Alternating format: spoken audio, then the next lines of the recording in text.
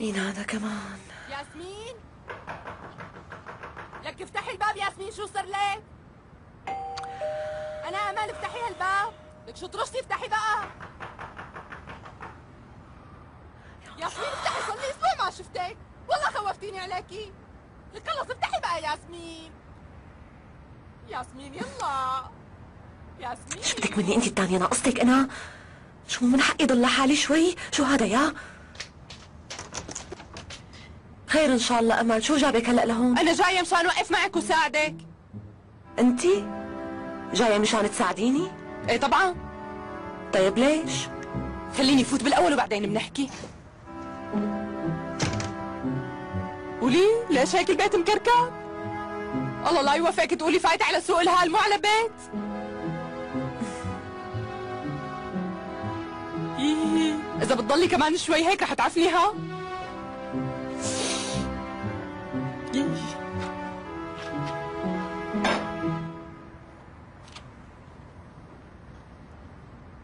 لك ياسمين كم يوم إلك ما تحممتي؟ آه؟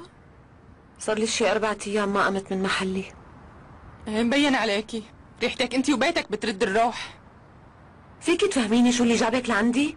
إذا جاية تحسسيني قديش شكلي تعبان وبيتي بيقرف لا تعذبي حالك لأني بعرف. اتركيني بحالي يا الله يسامحك ولو. هذا اللي فهمتيه هلأ من حكي. والله انت عم تظلميني.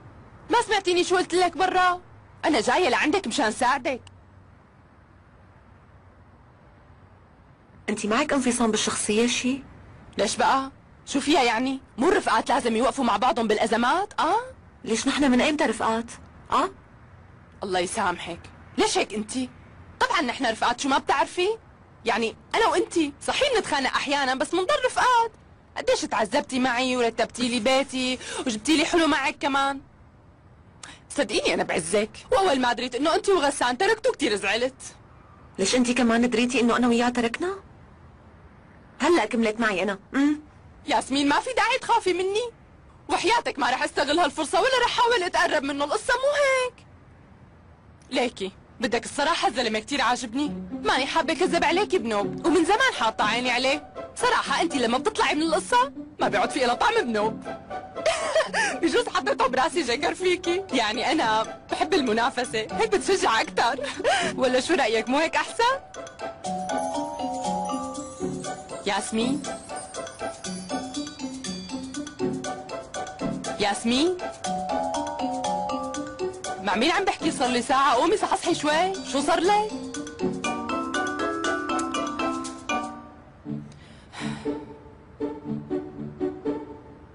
أنا بعرف منيح كيف خليكي تروقي وتنسي كل هالقصة. يلا قومي لشوف. ما بدي قومي فوتي اعملي دوش على السريع والبسي وتنقي. بدنا نطلع عني. أحلى سهرة لوش الصبح كمان. طلعي لي من هالجو اللي بيجيب الكآبة. شوي تاني رح تجيبي لي الجلطة. مالي خلق أطلع من البيت. اتركيني نام وروحي على بيتك. ياسمين بدك تقومي ولا أقومك بطريقتي الخاصة؟ قلت لك بدنا نطلع ونسهر وهلأ فورا. يلا قومي. بدنا نطلع. يلا قومي. لك اتركيني بقى. قلت لك ما بدي أطلع من البيت. حلي عني أمان. مو على كيفك. لك شو قصتك انت اتركيني بحالي أعمل لك. انت ما بتعرفيني منيح. وقت اللي بدي شغلة بعملها. لا تخليني هلا قوم روح جيب مي مغلية وكبها فوق راسك واحرقك بقى قومي فوتي على الحمام وتدوشي مثل العالم والخلق. يلا يلا يلا ليش أمل اتركيني قلت لك حلي قومي. عني بقى. بدك تقومي. خلص خلص يلا. خلص رح أقوم. العمى بعيونك شو دبقة عم قلعك من البيت وما عم تنقلعي. مو ناقصني غير رفقتك هلا. العمى. ليكي وليه؟ كتر الشامبة وافركي شعرك منيح. واستعجلي بدنا نروح.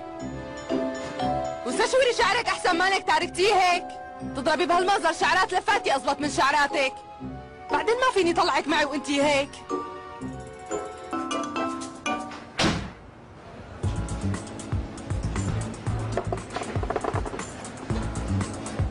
يسلموا إيديك.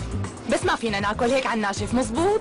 هيك الاتيكيت. إذا بدك تطلبي لحمة لازم تشربي معها نبيض يلا خلينا نوصي على كاستين نبيض فرنسي مشان تكمل الجلسة تبعنا. أنا ما بشرب. وخصوصي مع الأكل ما بحبه. لا. لأنه معدتي ما بتتحمله. مشان الله ياسمين لا تنزعي القعده بدك تفهميني إنه مانك شربانة بحياتك. قلت لك ما بقدر لأنه دغري بتضايق. جربته مرة. طعمته بتقرف كيف قدرانين تشربوه أنتو؟ دغري قلبت معدتي. اشربي انتي خلص أنا بطلب شاي. إيه لا. هلا بدك تفهميني إنه ما طلعتي مع جوزك شي قاعدة فيها مشروب يعني؟ شو على طول كان حبسك بالبيت. لا بالعكس. كنا نطلع مشاوير. وكنا نسهر على طول. وكان يشرب ويوصي لي أنا كمان على المشروب بس ما كنت أقدر أشرب. كنت أترك الكاسه على الطاولة لأنه ما بحب المشروب ابدا.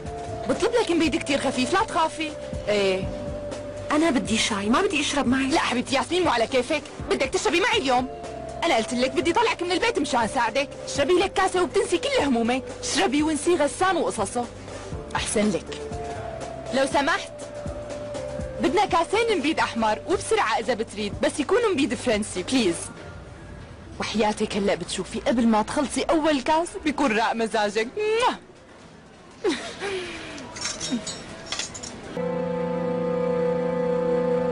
يلا تشيرز اشربي بصحة رفقتنا وهالقعدة الحلوة. كاسك.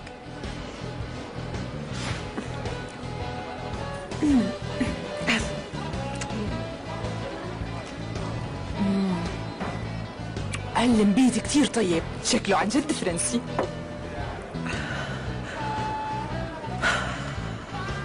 لك ياسمين بتعرفي أنا ليش طلعتك وجبتك لهون؟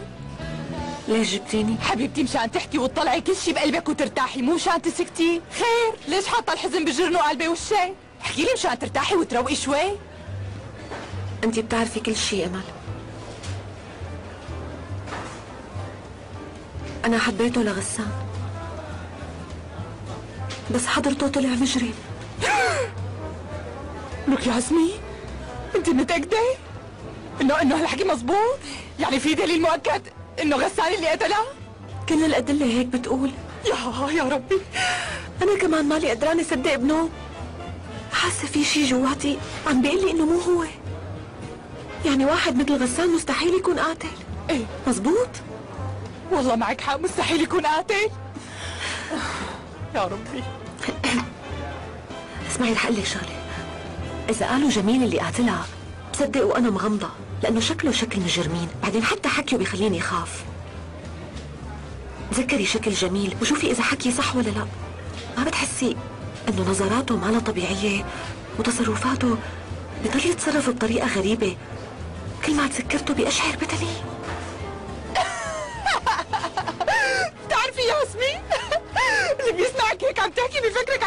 عم تحكي عن شي فيلم رعب كبري عقلك شوي هلا واحد مثل جميل بده يطلع مجرم. انت عم تحكي هيك لأنه ما بتعرفي شيء نحن عرفانين كثير شغلات. شو؟ قصدك؟ ليش قليل اللي صار بداريا يعني؟ ومين هي داريا بقى؟ اسمعي. هناء وجميل من زمان. كان عندهم بنت أصغر من مراد. إيه. والبنت كان اسمها داريا. بس ماتت وهي صغيرة كتير. أخوها مراد. هو اللي قتلها بإيده. وهالمسكينة هناء في حدا بلش يهددها لأنه عرف بهي القصة. أصلا المسكينة مشان هيك انتحرت. ولك انت شو عم تقولي؟ حاسة حالي بشي كابوس. شو هالحارة اللي سكنت فيها كلها مجرمين؟ حبيبتي يلي ورا كل هالقصص هو جميل. وهو اللي قتلها. ما في حدا قتل هيام غيره هو. لك ياسمين بلشتي تخوفيني عن جد ما كنت عرفانة إنه هيك الوضع. لك عفوا لو سمحت. مريني تفضلي. معلش تجي شوي. أه، جيب لي كاس بيت تانية. تكرم عيني. بسرعة. فورا. خدي. لك ياسمين. معك حق هلا تذكرت شغلة كتير مهمة. امبارح كنت واقفة مع جميل وبالصدفة إجت سعاد ووقفت معنا. وكان عم يوز براسها طول الوقت. غسان هو القاتل هو اللي قتل أختك. عم تحكي عن جد انت؟ وحياتك وأنا كنت موجودة هونيك أمال يعني معقولة يكون جميل هو اللي قتل هيام وبده يلزق التهمة بظهر غسان؟ إيوه